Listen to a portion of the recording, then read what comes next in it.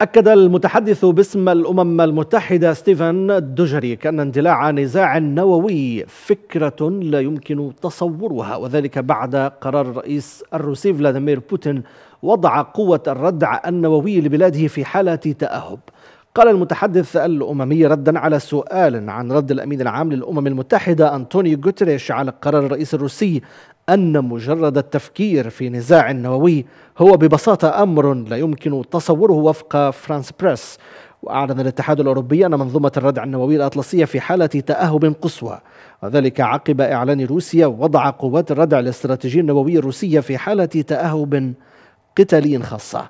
وقال مفوض الأمن والخارجية في الاتحاد الأوروبي. جوزيف بوريل إنه من المهم للغاية أن أمر الرئيس الروسي فلاديمير بوتين وضع منظومة الردع النووية الروسية في حالة التأهب القصوى وسط مواصلة موسكو عملياتها العسكرية في أوكرانيا. وأكد أن الاتحاد الأوروبي يقدم أسلحة لكييف وهي المرة الأولى التي يقدم فيها الاتحاد أسلحة إلى دولة غير عضو فيه مشددا على أن ما يجري في أوكرانيا حرب على الحدود الأوروبية.